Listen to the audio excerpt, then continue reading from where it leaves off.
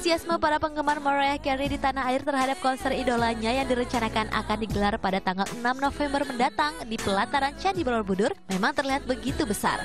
Bagaimana tidak, tiket free sale konser diva papan atas dunia tersebut terjual habis hanya dalam waktu 5 menit.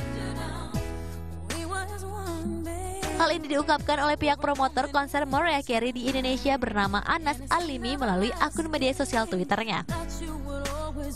Ia mengungkapkan kekaguman dan rasa terima kasih terhadap peminat Mariah Carey atas pencapaian ini. Periode penjualan tiket kedua pun akan dibuka tepat hari ini, tanggal 20 April dengan harga tiket reguler.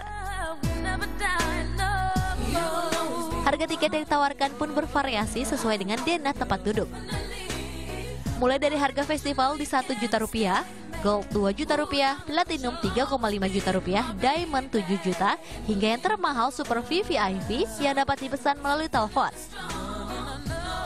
Namun pihak promotor pun mengaku harga tiket tidak akan melampaui tiket konser Celine Dion yakni 25 juta rupiah.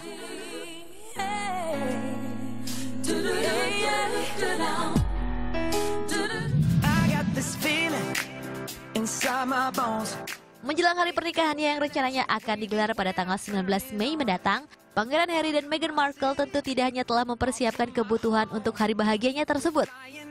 Seperti gaun pengantin, tempat pernikahan, undangan, namun pastinya juga soal rencana bulan madu.